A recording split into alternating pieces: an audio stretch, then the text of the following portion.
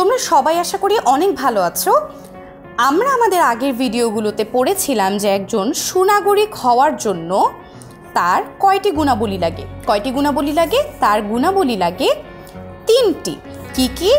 বুদ্ধি, আত্মসংযম এবং বিবেক।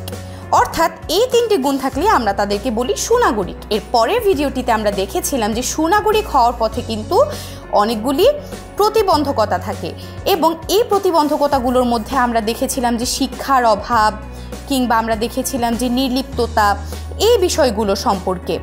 আজকের ভিডিওটিতে আমরা মূলত দেখব যে এই সুনাগরিকের সুনাগরিক হওয়ার পথে যে প্রতিবন্ধকতাগুলো রয়েছে, এই প্রতিবন্ধকতাগুলো দূর করার উপায়গুলো কি কি?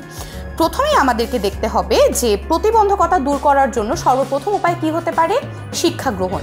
শিক্ষা গ্রহণ কেন? কারণ একটা ছেলেকে যদি আমি স্কুল, কলেজ, ইউনিভার্সিটি বা বিভিন্ন ধরনের শিক্ষায় শিক্ষিত করে গড়ে তুলি, তার সাথে কিন্তু একজন নিরক্ষর ছেলের কিন্তু আকাশ পাতাল তফাত হবে, তাই না? এই যে তার সাথে বিভিন্ন ধরনের তফাত হচ্ছে, কি কারণে হচ্ছে? প্রথম কারণ হচ্ছে গিয়ে তার পর্যাপ্ত শিক্ষার অভাব এবং দ্বিতীয়টি হচ্ছে দেশপ্রেমে উজ্জীবিত হওয়া। দেশপ্রেমে একটা ছেলে বা মেয়েকে আমি কীভাবে উজ্জীবিত করব। দেশপ্রেমে উজ্জীবিত করার ব্যাপারটা কিন্তু নিতান্তই নিজের ভেতর থেকে আসতে হয়। কীভাবে? একটা ছেলে বা মেয়ে যদি তার দায়িত্ব, কর্তব্য বুঝতে পারে যে তার জায়গা থেকে সেই দেশের প্রতি তার দায়িত্বগুলো কী কী, এটি যদি সে বুঝতে পারে তাহলেই কিন্তু তার দেশপ্রেমে বহিঃপ্রকাশ হবে, তাই না? তার মানে উপযুক্ত শিক্ষা গ্রহণ এবং দেশপ্রেমে উজ্জীবিত হওয়া কিন্তু প্রথম উপায়। দ্বিতীয়টি হচ্ছে অলসতা এবং নির্লিপ্ততা পরিহার। আমরা দেখেছিলাম যে এটা একটা প্রতিবন্ধকতা। এখন আমার দেশের প্রতি আমার যে দায়িত্বটুকু, আমি দেশের কথা বাদ দিলাম। আমার নীতি, নৈতিকতা, বিচার, বুদ্ধি, বিবেক প্রভৃতিকে ঠিক রেখে আমার যেই দায়িত্ব কর্তব্যগুলো রয়েছে, সেটি যদি আমি ঠিকমতো পালন করি, আলস্য পরিহার করে যদি আমি সেই উদাসীন মনোভাব ঠেলে দিয়ে যদি আমি সেই কাজটা করি, তাহলে কিন্তু আমার নির্লিপ্ততা পরিহার করা হয়ে গেল। এবং অলসতা এবং নির্লিপ্ততা পরিহার করে কিন্তু আমি এই প্রতিবন্ধকতাটা দূর করতে পারি। তৃতীয়টি হচ্ছে ব্যক্তিগত স্বার্থ পরিত্যাগ করা। আমরা দেখেছিলাম যে বিভিন্ন সময় কি হয়? স্বজন প্রীতি হয়। এছাড়া পক্ষপাতিত্ব হয়, দুর্নীতি হয়। এই কাজগুলোকে যদি আমরা বন্ধ করে দিতে পারি বা ব্যক্তিগত স্বার্থ পরিহার করতে পারি, তাহলেই কিন্তু আমরা কি করতে পারব? এই সোনাগুড়ি পথে প্রতিবন্ধকতাটা দূর করতে পারব। এরপর আসে দলীয় মনোভাব পরিত্যাগ করা। অর্থাৎ আমি যেই দলেরই হই না কেন, আমার যেই রাজনৈতিক মতাদর্শই থাকুক না কেন, আমার টার্গেট থাকবে কি? আমার টার্গেট হচ্ছে গিয়ে যে অন্যান্য যে মতাদর্শগুলো আসছে, সেগুলো যদি ব্যবহার উপযোগী, ভালো, সময় উপযোগী হয়, সেগুলোকে প্রশংসা করা, সেগুলোকে গ্রহণ করা, নিজেদের ভালোটাকে ঠিক রেখে অন্যরা যে ভালো বিষয়গুলো আমাদেরকে দিচ্ছে সেগুলোকে একদম ওপেন মাইন্ডে আমরা যদি এগুলোকে একসেপ্ট করতে পারি, গ্রহণ করতে পারি তাহলে কিন্তু আমরা সুনাগরিক হব। সাম্প্রদায়িকতা পরি- পরিহার করা।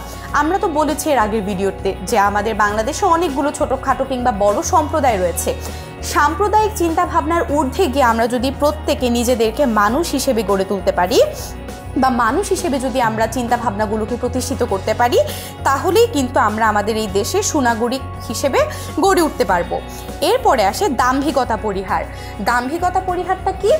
আমি এবং আমার আশেপাশে, আমার চারপাশে যে মানুষগুলো রয়েছে, তারা প্রত্যেকেই কিন্তু মানুষ। কিছু অতিরিক্ত সুবিধা কিংবা দেখা যায় যে আমাদের সামাজিক অবস্থানের উপর ভিত্তি করে কিন্তু কোনো কোনো মানুষ অনেক উপরে উঠে যায়, আবার কেউ কেউ কি হয়? অনেক আস্তে আস্তে তাদেরকে উপরে উঠতে হয়। এখন যেই মানুষটা অনেক কিছু পেল বা দেখা গেল সে অনেক শিক্ষিত, সে অনেক সামাজিকভাবে উঁচু স্থানে আছে, ওরকম জায়গায় গেলেই না অনেকের মধ্যে কি হয়? অহংকারের সৃষ্টি হয়। আমরা সবসময় চেষ্টা করব অহংকার কিংবা দাম্ভিকতাকে পরিহার করে একজন আদর্শ মানুষ হিসেবে গড়ে উঠতে। আচ্ছা সর্বশেষে আসে সমমর্যাদাপূর্ণ পরিবেশ সৃষ্টি। সমমর্যাদাপূর্ণ পরিবেশ সৃষ্টিটা আমরা কীভাবে করতে পারি? ধরো, একটা দেশে বিভিন্ন ধরনের শ্রেণি পেশার মানুষ কি কারণে হয়? অর্থনীতির কারণে হয়, তাই না? অনেক মানুষ কি করে? তাদের অর্থনৈতিক অনগ্রসরতার কারণে নিচে নেমে থাকে এবং অনেক মানুষ তাদের অর্থনৈতিক উন্নয়নের কারণে কিন্তু অনেকটা উপরে উঠে যায়।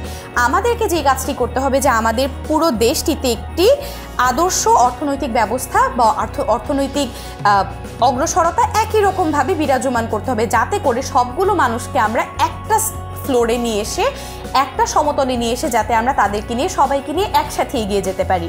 তাহলে আজকে আমরা দেখলাম যে সুনাগরিকের পথে, হওয়ার পথে যে প্রতিবন্ধকতাগুলো রয়েছে, সেই প্রতিবন্ধকতাগুলো যদি আমরা থেকে বের হতে চাই, তাহলে আমাদেরকে এই ধাপগুলো গ্রহণ করতে হবে। আশা করি তোমরা সবাই বুঝতে পেরেছ যে আমাদের প্রত্যেকের নিজ নিজ জায়গা থেকে পদক্ষেপগুলো কি হওয়া উচিত এবং সবাই আশা করি আমরা এক একজন অনেক আদর্শ সুনাগরিক হিসেবে গড়ে উঠতে পারব। তোমরা সবাই খুব ভালো থেকো।